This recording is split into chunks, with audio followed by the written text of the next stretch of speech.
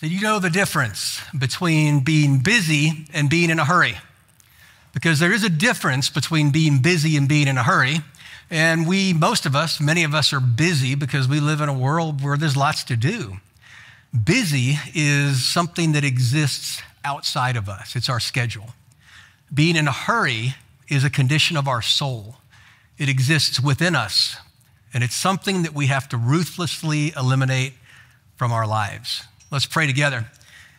Father, I thank you for today and pray that you would allow us as we open your word to uh, learn from you, to listen to you carefully, and to maybe change.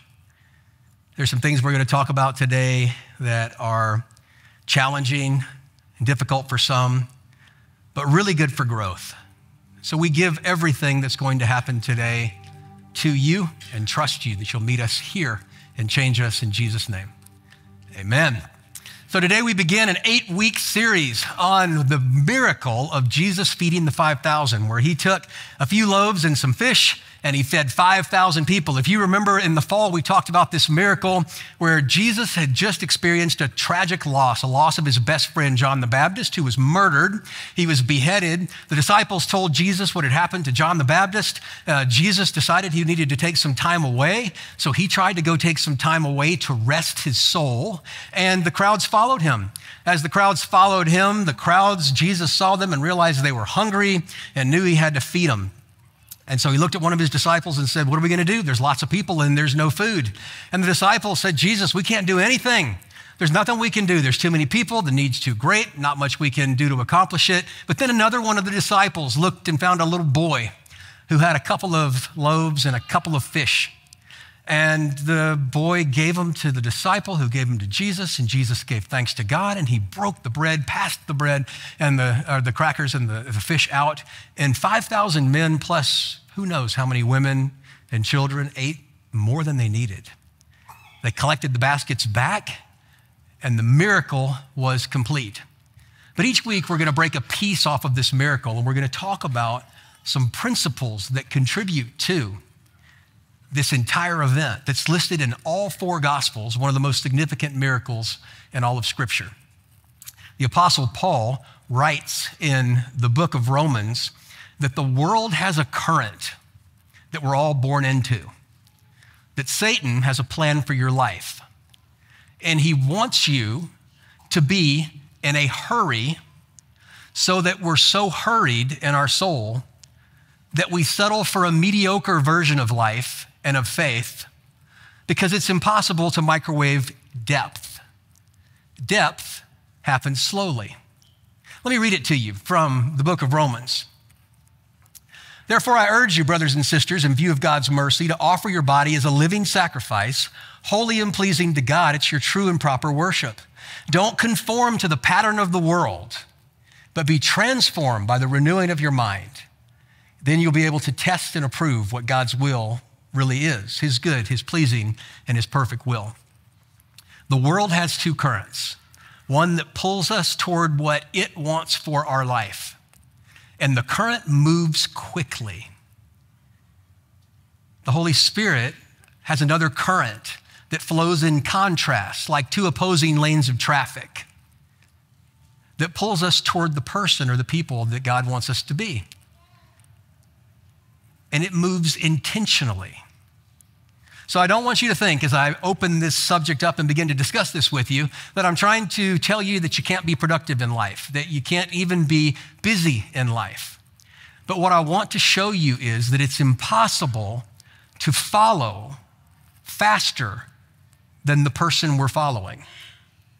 That to be a follower of Jesus with uncommon faith, we have to ruthlessly eliminate hurry from our life, even though we're busy and we have to follow the example of Jesus. Now, you may think it's a weird kind of a thing to start with, but really, this whole miracle started with this idea, and I'll read it to you. Um, and we're going to be in the book of Matthew, and throughout the next eight weeks, we're going to jump around to the different gospels, pulling out different pieces. But um, in the very beginning, Matthew 14, 13, when Jesus heard what had happened to his friend John the Baptist, he withdrew by boat privately to a solitary place. Now, there are two types of people in this world. There are a lot more than two. But I want to find out um, among you and those watching online which of these two particular categories you happen to fall in. Uh, there are some who, when I say, and I'm going to give you both sides to this before I ask you to raise your hand, how many of you like to take naps? How many of you like to rest? How many of you look forward to these kinds of things? And the opposite side of that is how many of you feel like napping is a waste of time, that when you're asleep, things go on that you want to be a part of, and um, you know that you would consider yourself not to be naturally bent toward these things, that not particularly a napper. How many of you are, na- are, are you, how many of you, how many of you are nappers? Raise your hand. Okay, we got a bunch, more, a, a higher percentage in this service than the other. How many of you are not nappers? Raise your hand. Okay, we have a smaller, slightly smaller majority. Interesting to me when you see couples that are together, one's a napper and one's not a napper. In my opinion, when a person does pre-marriage counseling, uh, one of our pastors, maybe we ought to include that question. Uh, are you a napper? Is your spouse to be a napper? Because if you got a napper and a non-napper, it's pretty stressful in a, in a relationship because the non-napper's judging the napper when they're asleep and the napper when they're napping thinks that the non-napper's pushy and it gets really bad. And isn't about whether you like naps or not. This isn't about your personality. It's not about your predisposition. It's about intentionally taking time away to settle your soul. Now, I'm going to slur at you a little bit this morning, and it's not because I'm having a stroke. I had some dental work done, and they put a little temporary thing here in the back of my, like the roof of my mouth, and my tongue keeps hitting it. And in the first service, I was, especially when I said several S's at the same time, I was slurring and they were looking at me going, Is Pastor okay? And I know that I said I'm not having a stroke. I'll probably have one right now. And you guys will be like, He said it was just his teeth. And I'll end up needing medical attention. But um, if you hear anything a little weird, it's just the dental work. You can blame my dentist, and hopefully in a few weeks it'll be all taken care of. Now, if you find yourself busy and you need a break and you need rest because you've cluttered your own life up to the point where you don't leave any margin, that's not really what I'm talking about today. What I'm talking about today is a person who has an eye toward accomplishing God's purpose in their life, who feels like that they're doing their very best to order their schedule and their family around things that are happy or pleasing to the Lord, and um, that you find yourself from time to time just really getting exhausted. That busy becomes hurry, your lines get blurred. And I get a little concerned about this subject because I think so many of us we pack our lives so full with stuff that we have no margin left over and no room to do the things that are really significant in life. And we find ourselves superficial, which is one of the worst things that we could be. And not only that, but we as parents and grandparents oftentimes cram our kids' lives so full of things that half the time they don't even want to be doing in the first place so that they stay so busy, busy, busy, busy that the busy becomes hurry and that the hurry can become sin. That the hurry can keep us from being able to connect with God, to be able to connect with the people around us. And Jesus modeled throughout his life. And you read this in the Gospels over and over again. He consistently took a time out so that he could go and connect with the Father to never allow his busy schedule to become a frantic and frenzied pace where his soul began to suffer. Now, Jesus does things for different reasons than we do, but he never does anything that we're not supposed to learn from. So, let me show you a few things that Jesus did and did not do. Jesus rested to keep busy from becoming hurry, but Jesus didn't rest by skipping church.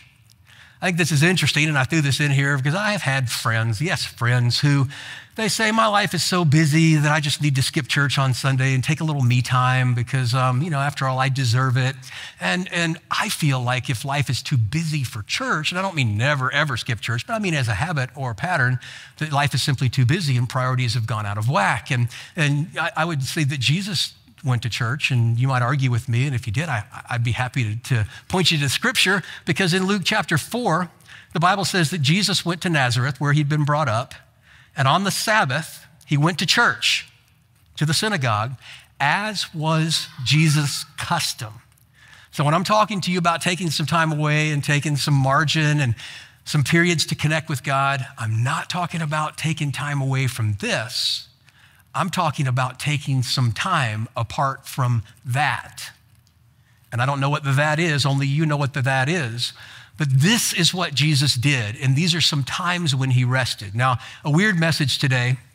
We're observing things that happened in Jesus' life, observing some snapshots from the Gospels. It is um, powerful because it's repeated, but different because it's more topical in nature. Jesus rested after exciting events. This same miracle, right after it was over, Jesus made his disciples get into the boat and go on ahead to the other side. And then after that, Jesus went up to the mountainside by himself to pray. And later that night, he was there on the mountainside alone. Jesus rested and took a time or a minute away because when busy becomes hurry, we miss out on the miracles. Do you think, do you feel in your life like you're hurried? Does your soul feel a little frenetic, a little frantic? Miracles happen every day. And I don't necessarily mean big M miracles. Sometimes I believe they happen. But I think that God acts and does things every single day in our lives and in people's lives around us and our kids' lives. And when we allow hurry to creep in, busy to become hurry, and our souls to become frantic, we miss the miracles that ground us in the reality that God is at work and that we're part of something bigger than we are. And so Jesus took some time away. And when Jesus took time away, he did at least three things. He thanked God, he asked God for direction, what's next? And he asked God to give him strength to be able to endure whatever it was he was facing next. Now, there were other things that Jesus did, but those three things were common in Jesus' step away to make sure that he had a rested soul. Because for us to live a generous life, we have to be a rested person. Our soul has to be at rest, even if our schedule is quite busy. Jesus rested before making big decisions. One day, when Jesus went out on the mountainside to pray, he was going to call his 12 disciples and start off his, his uh, close group of friends who he ministered with. But he, he stopped and, and went a, away to a mountain to spend some time with God because Jesus was modeling the fact that when we get hurried, we make bad decisions. Can anybody attest to that in their own life? Bad decisions are often made in a hurry. In a hurry, sometimes we choose to date the wrong people, to take the wrong job, to buy the wrong thing, right? To say the wrong thing. Because in my eh, own experience, I'm so bad at this. I feel almost like a real hypocrite talking about this because I fall into the no nap category and the, the sometimes can get a little bit of a frantic and frenetic sort of a soul. But in my experience, when I try to make important decisions on the fly, it's almost always the wrong decision. In fact, oftentimes my first instinct, now that I know myself a little bit at 53 years old, I'm like, ah, ah, that's not what I'm supposed to do. And then I look for the next thing that comes along if I have the wisdom to pause. So Jesus was modeling the fact that our heart is deceitful above all else and we can't trust it. But when a big decision has to be made, we need to take some time away and we need to recalibrate and make sure that busy does not become hurry because when busy becomes hurry, we make bad decisions. Jesus rested after busy seasons of ministry. The apostles had come back to Jesus after they'd been out for a long period of time doing all kinds of things that were amazing, miracles and teaching. And so many people were coming and going that they didn't even have a chance to eat. And Jesus said, Listen, come with me by yourselves to a quiet place and get some rest for your soul and for your body. So they went away by themselves in a boat to a solitary place. Hurry makes us burn out quickly because God gives us the strength in our life to keep pace with a busy schedule when He's in charge of our schedule. But He does not give us the grace and the strength to deal with hurry because hurry is self imposed. Busy exists outside and is dictated by priority and choice, sometimes has to be adjusted. Hurry exists inside, and it's a sickness of the soul that oftentimes the schedule affects. Jesus rested when he was peopled out. Have you ever been peopled out? Let's talk for just a second.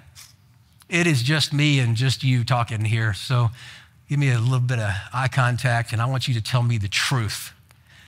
I'm not going to ask how many of you have been peopled out. I'm going to ask Has anybody in here never been peopled out? Has anyone said at any point in time in your life, or not said, I've had a little too much people and I need a little bit of a break? I've said that from time to time. Have you said it? Just a little hand like here. Just a little, have you said it? Have you said it? Okay. Jesus got peopled out. Pastor, you're talking about God. Yes, I am talking about God. Jesus, 100% man, 100% God, who needed a break from people. And let me explain to you the genius of the break that Jesus took, and you and I need it too. Is that Jesus went into a house in the vicinity of Tyre, and he didn't want anybody to know he was there. He needed a timeout and he needed a break. But he couldn't keep his presence a secret. And he was modeling something very important that hurry makes us unable to love. And above all else, we Christians need to be loving. And if we have allowed busy to become hurry, we can't love the people who are in our lives. And Jesus was showing his disciples and showing us that to be able to love well, sometimes we take a step back. But we never allow ourselves to fall into the trap of saying, I don't like people. Because if we do that, we're saying, you know what, I don't really care about what Jesus had to say about the way I should live my life. We don't have the option of not being people, people. Some of us have a little harder time around people. But Jesus intentionally took a step back so that he could love well the people in his lives. Henry Nouwen has a phrase that's called sunset fatigue. And he said, when we've allowed busy to become hurry, we get to the end of the day and we get home, or we sit down in a car or across a dinner table from, the people who are closest to us and the ones who trust us, the ones who we should connect with the most. The ones we're the most responsible for, but yet we have allowed our schedule, our busyness to become hurriedness, and our soul to become frantic. And we can't love well the people who are closest to us because we're just too much in a hurry. And I think about this and thought, as a parent, I remember times when I had my boys race to do things. And I didn't need them to prove one was faster than the other. I just needed to get to the next thing. I find myself oftentimes with Joy, who I love more than any other person in this entire world. When she's talking to me about something important to her, I find myself tapping my foot and asking her. Sometimes I even say it. Could you get to the point? I can't catch all the, and, and look at her what, what's wrong with me? And Jesus was modeling to his disciples Love is not impatient, love is not unkind. And that if we allow busy to become hurry, we can get impatient and unkind, selfish. And it robs us of our ability to love. We can't live a generous life without being rested. We have to ruthlessly eliminate hurry. Jesus rested when he faced intimidating tasks. He withdrew about a stone's throw from beyond his disciples. This was right before his arrest and trial and crucifixion. Father, if you are willing, take this cup from me, yet not my will, but yours be done. Jesus was modeling, connecting, taking a minute away, not allowing the busyness of the last events of his life to become hurry in his soul because hurry tempts us to take the easy way out. And the most beautiful things in life are almost always found if we're willing to take the scenic route. So Jesus modeled this over and over and over to his disciples.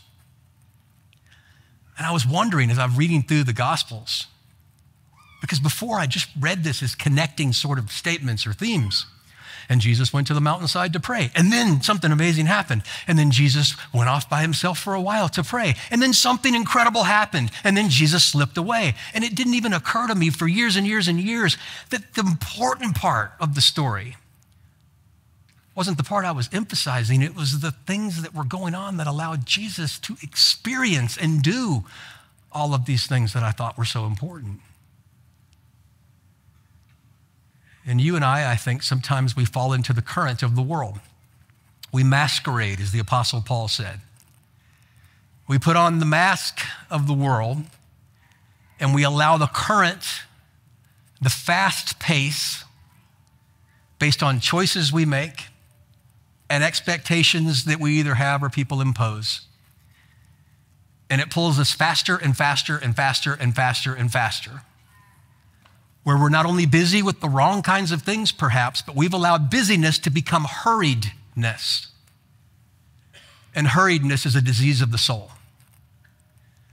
So, at the end of the time together, we're going to talk about this in some ways to correct this or combat this so that we can be so fully present in this moment, that we can live generous lives and we can follow the example of Jesus. We're going to have some fun doing it. Well, as you know, we are beginning 10 for 10. And I want to explain this to you real quickly because this is an important part of us becoming uh, generous people. When we talk about living a generous life, we talk about living a life of generosity with our time, with our thoughts and our heart, and with our income. And um, we are going to do an exercise, a workshop, a project together for 10 weeks. And it's super simple. It is to give to the Lord through the church $10 a week for 10 weeks. If you already give faithfully to the Lord through the church, thank you for that. I would ask you to give $10 more for 10 weeks. If you sometimes give to the Lord through the church, I still would like to encourage and challenge you to give $10 per week more for 10 weeks. If you've never given anything to the Lord through the church, I want to encourage you to begin by giving $10 a week for 10 weeks. It's called 10 for 10. Are you in? And it's because I love you. And it's a weird subject to talk about because people um, sometimes get the wrong impression of pastors in churches and say things like, um, the church just wants my money.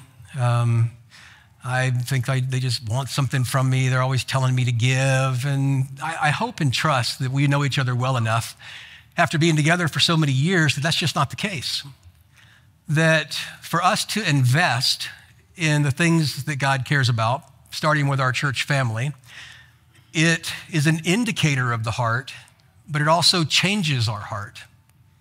I want us to be people of uncommon generosity, generous people in every area of our life.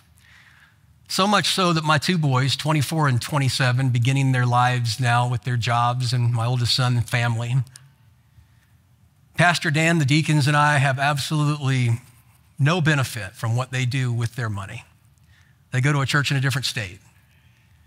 But I encourage them consistently to give generously to their church because I want more than anything else for them to be men with generous spirits who God will trust with more so that they can invest in the things that impact eternity. And if I want it for the people who are closest to me, I want the same thing for you.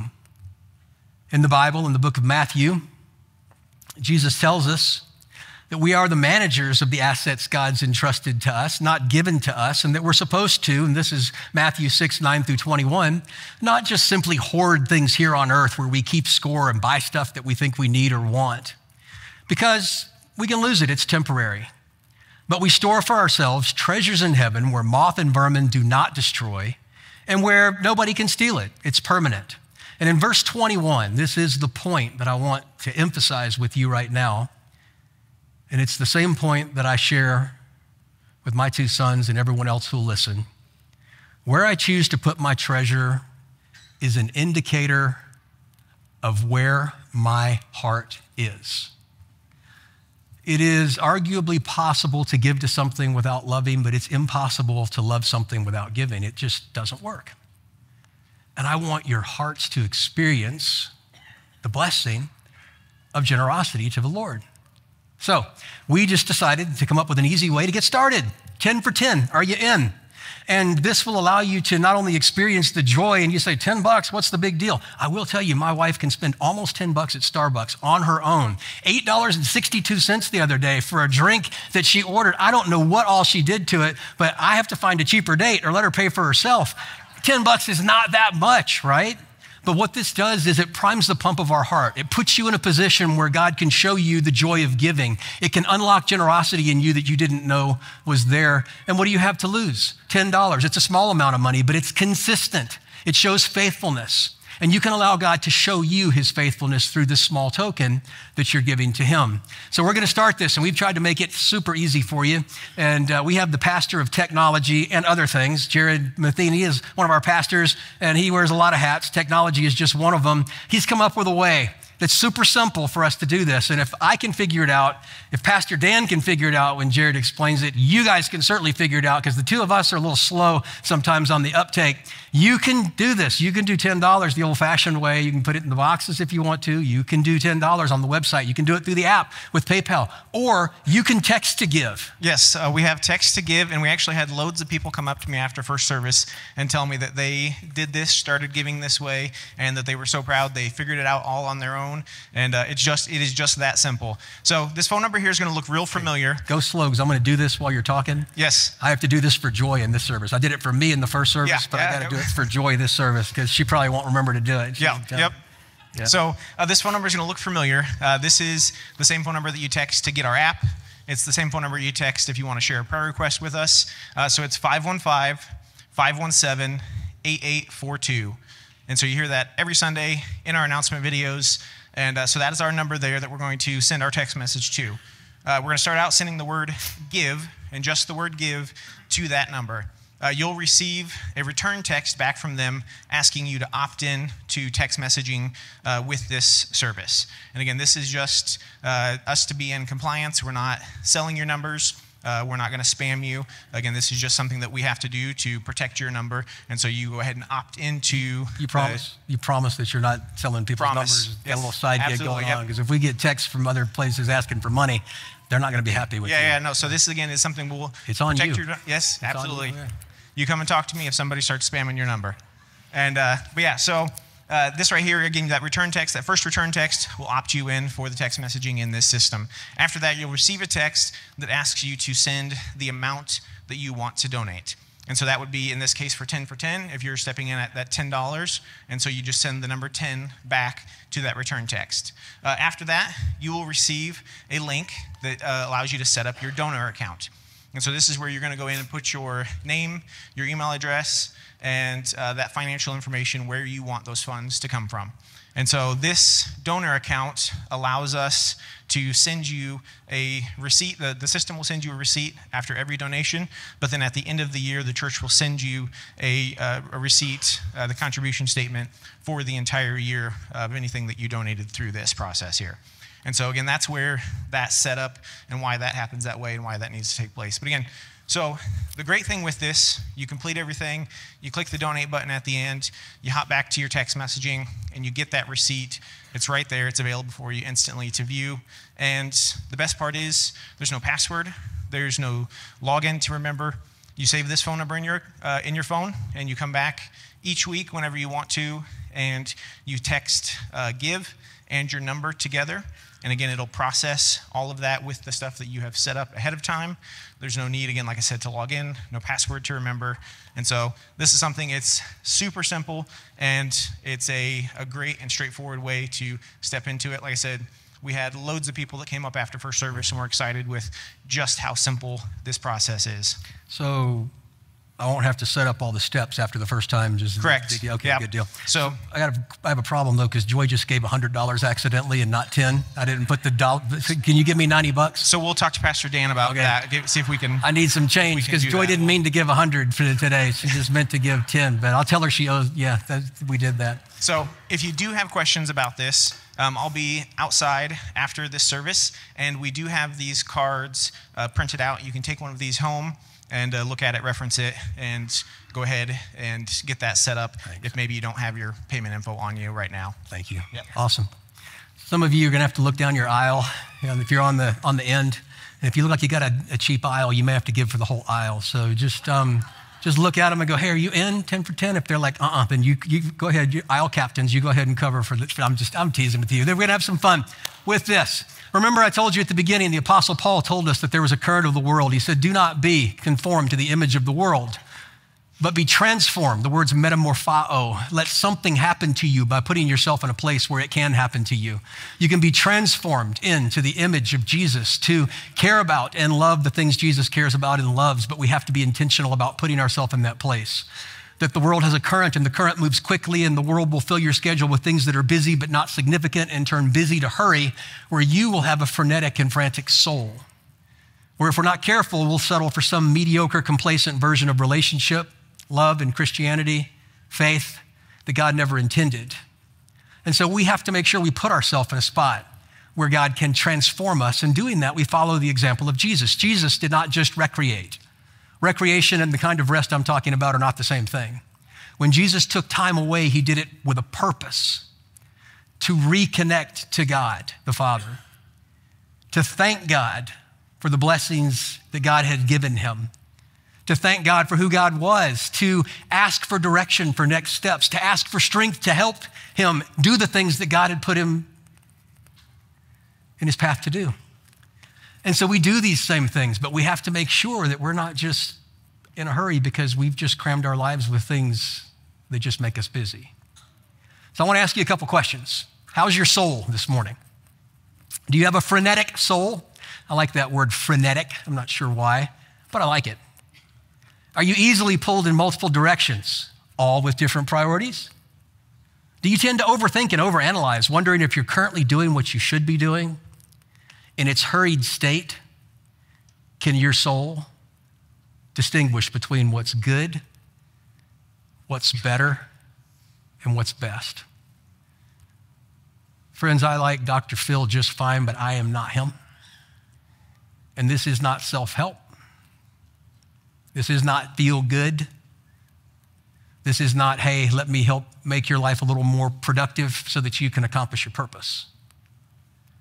What I'm talking about is you putting yourself in a place intentionally where the Holy Spirit of God can transform you to where even though you may find yourself busy doing the things He's put before you to do, you'll never find yourself crossing the line from busy to being in a hurry. One of the most successful men I've ever known, his name was Dave.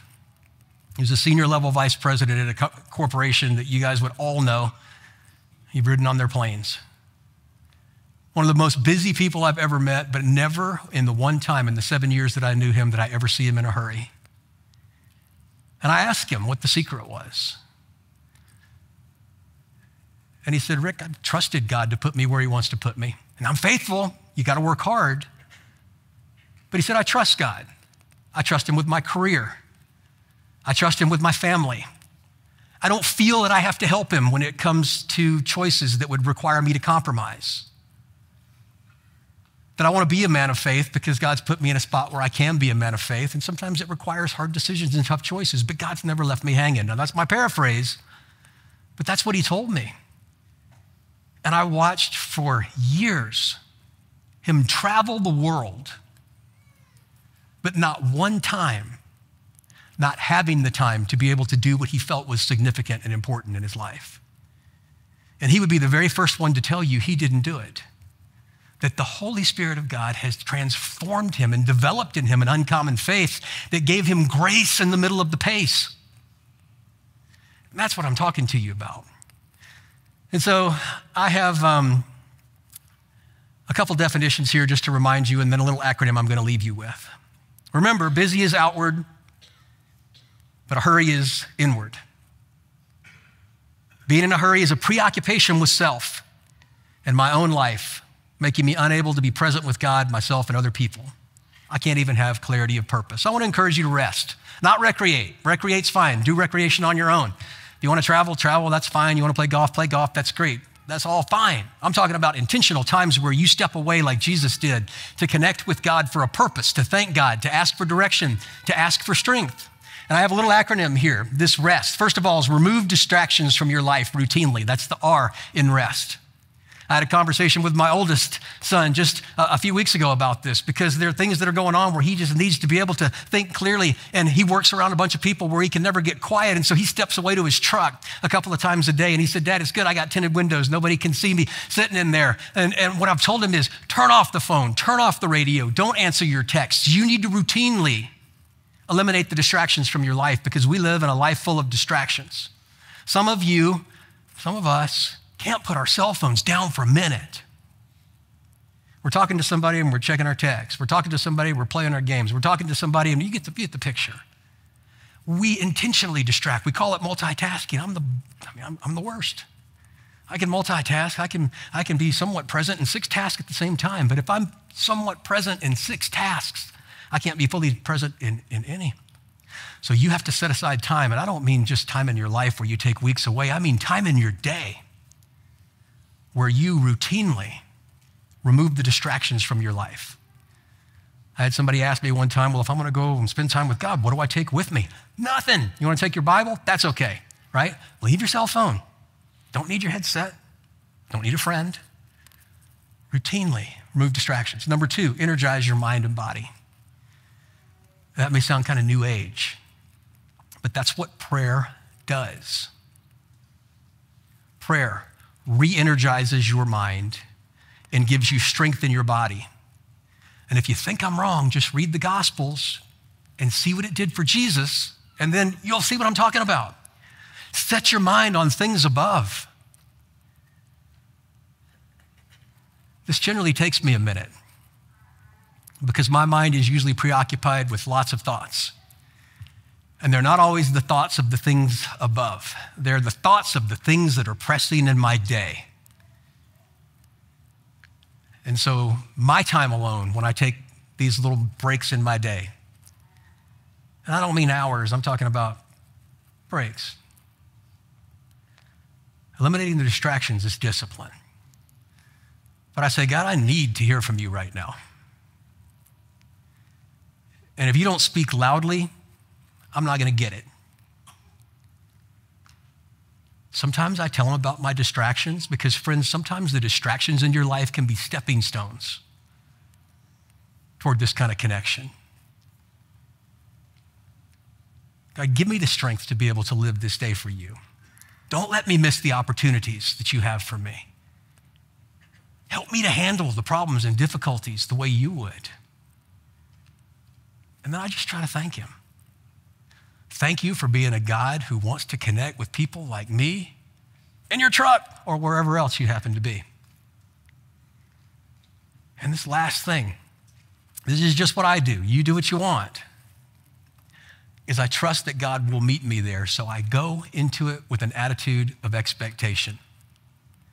C.S. Lewis says, We don't take to God the person we ought to be, we take to God the person we are. And when we take ourselves as the people we are to God, not trying to convince Him we're the people we ought to be, we find that He meets us there in that moment. And we can have rest in our soul. Busy won't become hurry.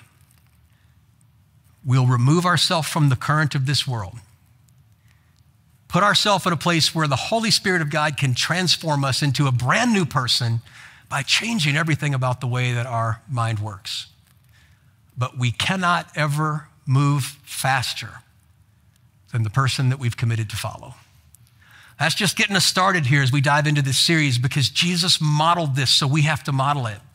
And as we work through the next seven themes, just in these short few verses in, in the scripture about this feeding of the 5,000, each week will challenge you a little bit. So take a piece, allow God to apply it, and watch yourself grow.